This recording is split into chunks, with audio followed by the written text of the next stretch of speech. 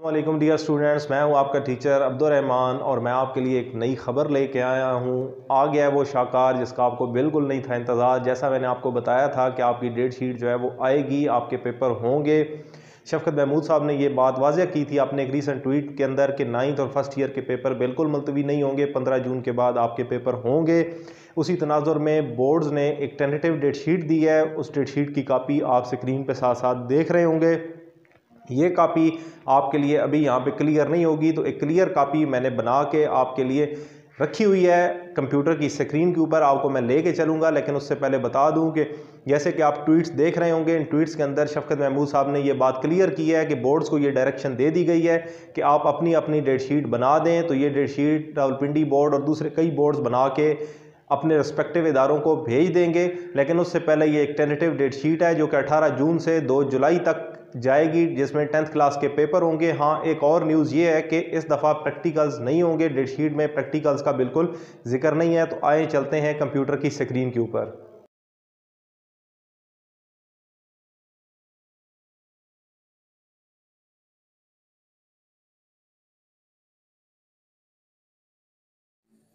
जी तो प्यारे स्टूडेंट्स जैसा कि आपको मैंने पहले भी बताया कि ये date sheet tentative date sheet है।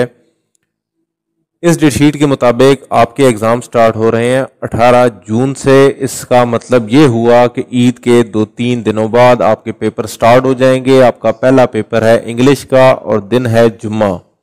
उसके बाद दो तीन दिन आपका कोई पेपर नहीं होगा और ट्यूसडे को केमिस्ट्री जबकि वेंसडे को उर्दू, उसके बाद फ्राइडे फिज़िक्स फिर आपके पास 28 तारीख को मंडे और मैथमेटिक्स का पेपर होगा, फिर एक दिन छोड़ के 30 तारीख वेंसडे को बायो और कंप्यूटर साइंस का पेपर होगा, जबकि फ़र्स्ट जुलाई को थर्सडे और पेपर है इस्लामियात और बग़ैर छुट्टी के आपके पास पेपर आ रहा है पाक स्टडी का।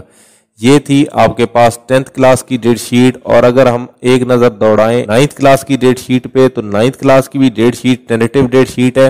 और ये शुरू होगी मैट्रिक के पेपर्स के बाद। पहला पेपर मंडे पाँच जुलाई को इंग्लिश का, उसके बाद एक दिन के गैप के साथ वेंसडे को बायो और कंप्यूटर साइंस का पेपर होगा, जबकि 9 जुलाई को फ्राइडे और मैथमेटिक्स, फिर नेक्स्ट सैटरडे संडे आपके ऑफ़ होंगे और मंडे को फिजिक्स का पेपर होगा।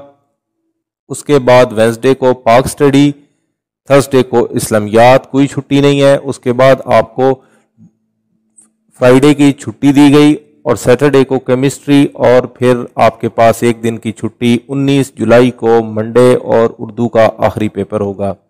एक और बात मैं आपको बताता चलूँ कि इस दफ़ा प्रैक्टिकल नहीं होंगे टेंथ क्लास के। तो ये है हमारी डेट शीट, ये टेंटेटिव डेट शीट है। चांसेस हैं कि ये हो भी सकती है और पॉसिबिलिटी है कि ये डेट शीट ना हो।